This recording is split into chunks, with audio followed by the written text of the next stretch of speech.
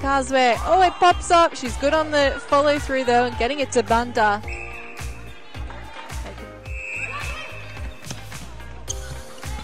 So I can't see any changes for them. They they only made the one. I can't see any changes either. A very settled lineup.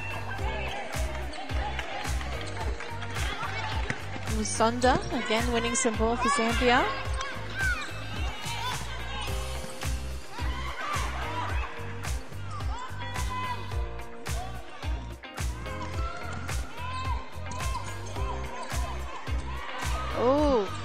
Uncharacteristically, Zambia. A pick up for Singapore.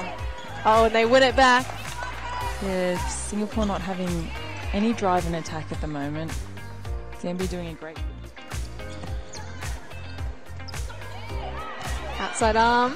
Oh, she keeps it in play. Oh, She's she net.